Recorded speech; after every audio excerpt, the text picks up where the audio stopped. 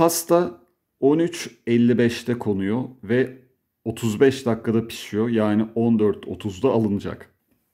Kek 14.05'te konuyor. 25 dakika pişecek 14.30. Şimdi bir kere pasta ve kek malum birlikte 25 dakika pişiyorlar o zaman. E, pasta yalnız vakit geçirdiği, yalnız piştiği sadece 10 dakika var. O zaman pasta yalnız kalmış olamaz. İlk atılmış olamaz.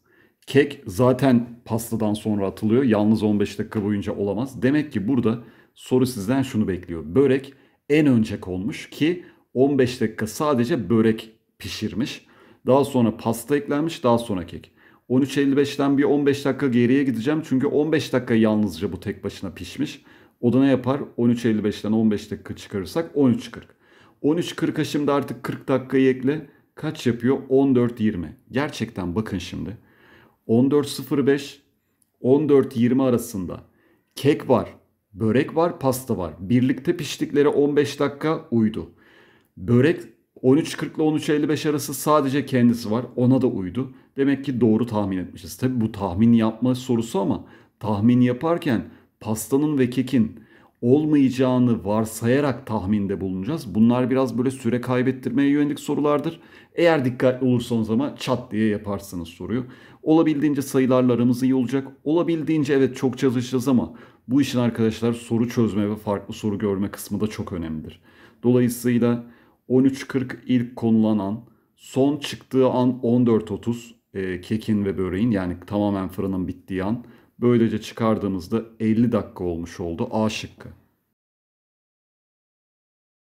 Eşitsizliği denklem çözer gibi 13 bölü 2'yi öbür tarafa atarak yapacağız. 17 artı 3 bölü 2 paydaları aynı olduğu için 2x küçüktür 10, x küçüktür 5. Böylece 5'ten küçük en yakın sayı kaçtır? 4, C şıkkı. Tabanlar arası uzaklık arkadaşlar hep eşit olacakmış. Şu aradaki mesafelerin aynı olduğunu söylüyor. Dolayısıyla aradaki mesafelere x diyelim. Yani iki tane bardağın şöyle arasındaki şu mesafe var ya bu x olsun. Sonra bir tane bardağın boyuna da arkadaşlar y diyelim. Tam bir bardağın boyuna. 8 bardaklı ve 9 bardaklı iki kulenin yükseklikleri toplamı 19 bardaklı kulenin yüksekliğine eşitmiş. 8 bardaklı kulede kaç aralık var? 1, 2, 3, 4, 5, 6, 7 tane var. Zaten kaç tane varsa bir eksiği kadar aralık olur. Dolayısıyla 7x. Bir de kendi boyu var bir tane en altta 7. Y. Sonra arkadaşlar 9'luda ne olacak? 8 aralık olacak. 8x. Bir de en alttakinin bir tane boyu var. 8x artı y. 19'luda da 18x artı y diyeceğiz. Böylece y'lerden bir tanesi gitmiş olacak. Sonra arkadaşlar 7, 8 daha 15 öbür tarafa atarsak y eşittir 3x geldi. Demek ki bir bardağın boyu arkadaşlar 3 aralığa eşitmiş. 10 ve 12 bardaklı iki kulenin yüksekliklerine bakalım. y artı 9x artı y artı arkadaşlar kaç olacaktır? 11x. Dolayısıyla y artı 9 11 daha 20x olur. Bir de arkadaşlar y'ye ne demiştik biz? 3x demiştik. Şimdi y artı 23x arkadaşlar. Burada y'yi neden özellikle ayırdım? Şimdi 23x bize neyi anlatıyordu? y artı 23x. Hatta şöyle kuralı göstereyim. Bu soruda oluşan bir nevi. y artı nx bize neyi anlatıyor? y bir tane bardak. Buradan da arkadaşlar n tane aralık geliyor. Dolayısıyla n artı bir bardak yapıyordu. Burada da o zaman 23 artı bir taneden 24 bardak oldu B şıkkı. Göstereyim bakın temsil olarak bir tane. Şöyle arkadaşlar 3 tane bardak olsa. Burada 2 aralık var bakın. Bir tane de kendisi var. O yüzden toplam 3 tane oluyor. Eksi 14 sayısı verilmiş ve bu talimatlara göre bakacağız. Eksi 14 pozitif mi? Hayır. O zaman buradan devam edeceğiz. Bu durumda bakın Z5 verilmiş. Y'de x'in 2 fazlası verilmiş. Eksi 14 artı 2'den y'de eksi 12 oldu. x eksi 14'tü. y eksi 12. z'de 5. Toplamları eksi 21. B şıkkı. Aküp artı küpün açılımını söyleyerek yazacağım arkadaşlar bakın. 123 artı 120 çarpı 123'ün karesi eksi 123 çarpı 120 artı 120'nin karesi bölü 123 artı 120. Bakın bunlar sadeleşti. Dolayısıyla en son bir de burada 123 çarpı 120 kaldı. O zaman burada bakın iki tane 123 çarpı 120 bir nevi şu. A kare eksi A, 2AB artı B kare. O zaman bu 123 eksi 120'nin parantez karesine dönüştü. Böylece cevabımız 9 B şıkkı. Dijital saatin ilk iki hanesi saati, son iki hanesi dakikayı gösteriyor. Akif katıldığı bir toplantı bittiğinde duvardaki dijital saate bakmış ve bu saatin saat hanesine 19 olduğunu görmüş. Arkadaş da Akif'e demiş ki toplantı boyunca saat hanesinde 19 sayısının görüldüğü süre toplantının %25. Hemen basitten başlayalım. 148'i böl 4'e 37 yaptı. Demek ki 37 dakika boyunca 19 görülmüş. Bu da ne demek aslında? Toplantı 19.37'de bitmiş. Toplantı bakın 148 dakika uzun bir süre. 2 saat 28 dakika. Dolayısıyla 19'a yakın bir saatte başlama şansı yok. Eğer 19'dan sonra başlasa da 19.59'a kadar 59 dakika boyunca toplantıda 19'u görürdünüz ve saat 20.00'dan itibaren de on, e, toplantı devam ederdi. Demek ki 19.37 bitiş saati. Buna göre artık 2 saat 28 dakika geri gidersek 27 olsaydı e, ne olacaktı? 17.10 demek ki 17.09'da başlamış toplantı. E şıkkı. Arkadaşlar küpü istediğiniz gibi kapatabilirsiniz. Yeter ki doğru kapatın. Ben şimdi 7'yi taban olarak kabul edeceğim tamam mı? 7 tabanda dursun. Böylece 10 ve 11 karşılıklı olacak. Sağda 10, solda 11 ya da sağda 11, solda 10 fark etmez ama en azından 11, 10 bunun sağ ve solunda yerleşecekler arkadaşlar. 7'nin tam karşısında yukarıda 12 olacak.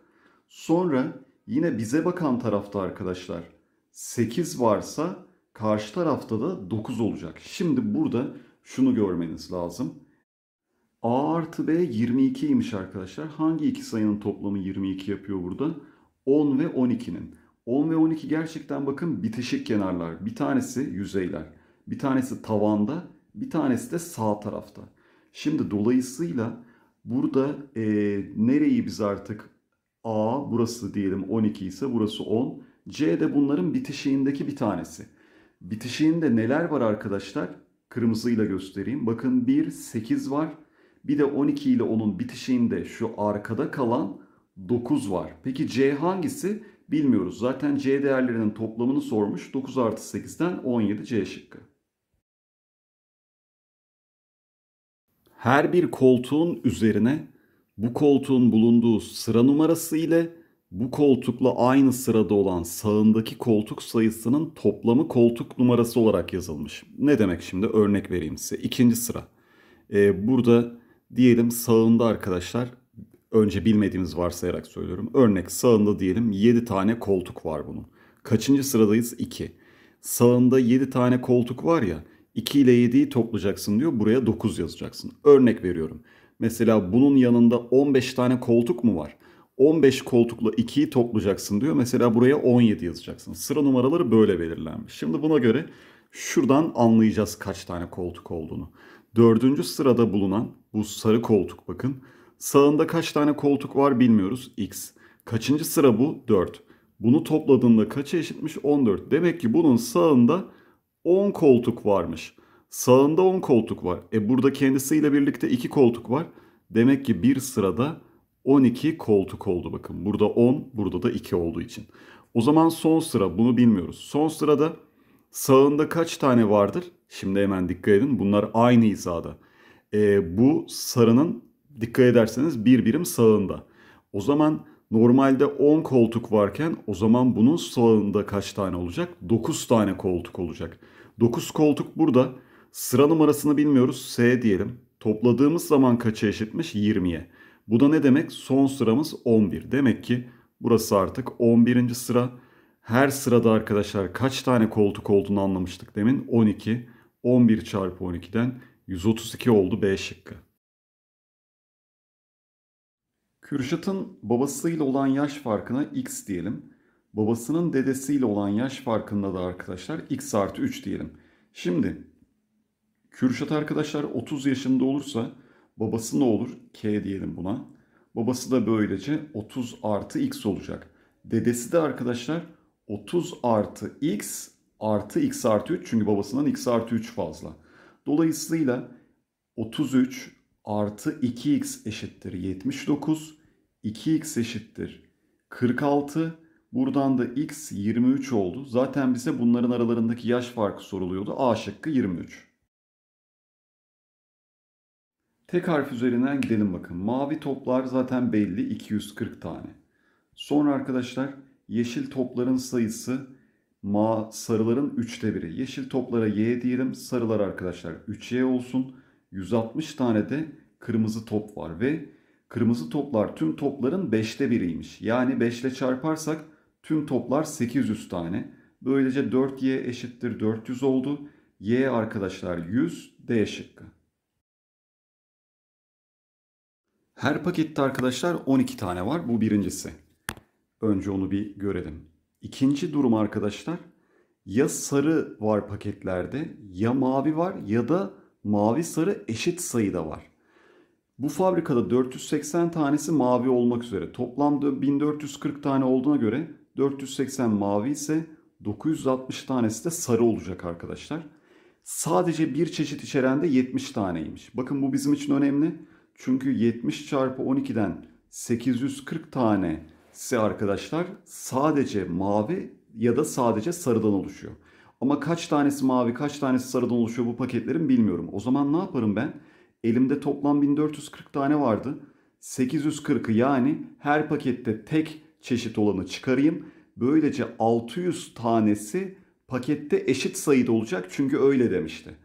Haliyle arkadaşlar buradan 300 mavi yapar, 300 tane de sarı yapar. Bunlar eşit olarak paketlerde yer almışlar. O paketlerin sayısını istemiyor bizden. Bizden sarı boncuk içeren paket sayısını istiyor. 300 tane sarı arkadaşlar birlikte ise 960'tan 300'ü çıkardığımız zaman 660 sarı da sadece kendi içinde paketlere yerleştirilecek 12'şerli. Böylece 660 bölü 12 55 paket varmış arkadaşlar sadece sarı içeren D şıkkı. Yüzdelik dilim arkadaşlar son kişiye göre belirlenir. Yani siz bir grupta diyelim beşincisiniz ve son kişisiniz yüzde birlik dilimde. O zaman bu grupta 500 kişi vardır. Bunun gibi düşünün. Ama bize soruda son kişiyi değil ilk kişiyi vermiş. Nasıl yorum yapacağız? Bu şimdi yüzde dörtlüğün arkadaşlar so, ilk kişisi ise yüzde üçlüğe girememiş. Demek ki yüzde üçlüğün son kişisi 219'muş. Haliyle 219. insan yüzde üçlük dilimde arkadaşlar. Yani yüzde üçlük diliminde son kişisi. Dolayısıyla x kişinin 3 bölü 100'ü 219 yapacak. X buradan 7300 kişi oldu. Haliyle %75'in son kişisi ne demek? Sana 7300'ün %2'sini soruyor demek. Bu da arkadaşlar 146 yapar. Böylece bir yüzdelik dilim bilgisi de öğrenmiş olursunuz.